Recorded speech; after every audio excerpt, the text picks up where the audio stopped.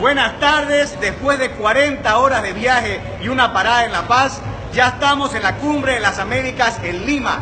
Todo Bolivia unida, La Paz, Cochabamba, Santa Cruz y de los diferentes departamentos, ya en la cumbre de las Américas para denunciar ante la comunidad internacional que este gobierno quiere desconocer la voluntad del pueblo a través de una justicia corrupta y sometida al poder político. Los bolivianos que somos profundamente democráticos estamos acá solamente por la conciencia democrática que nos motiva a luchar por los derechos y por los principios y valores que, que queremos que tenga nuestra sociedad boliviana. El grande recibimiento del pueblo peruano no ha quedado atrás. Hemos venido a cruzar la frontera entre estos países vecinos, a reclamar y a decirle al mundo que el 21 de febrero se respeta y que Bolivia dijo no. No a la reelección.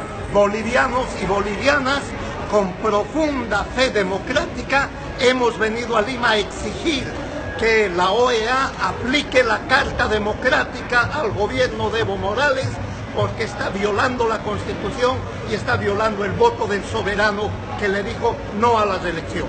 Felicitamos al pueblo y al gobierno peruano por haber retirado la invitación al presidente asesino Maduro de Venezuela y condenamos a la Cumbre de las Américas por su complicidad con los gobiernos de Venezuela, con el, con el gobierno de Bolivia y con los otros gobiernos del socialismo del siglo XXI. Estamos aquí para defender la democracia y es un peligro